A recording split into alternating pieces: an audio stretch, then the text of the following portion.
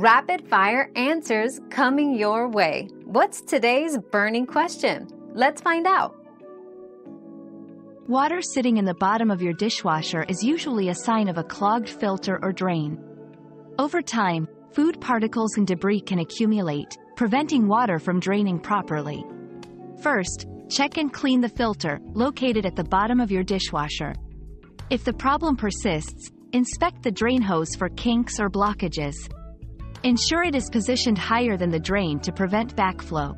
Regular maintenance and removing large food particles before loading can help prevent this issue.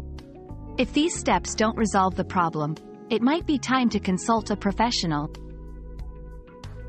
We've quenched today's curiosity, but there's always more to learn. Keep the curiosity alive by subscribing and joining us for our next adventure.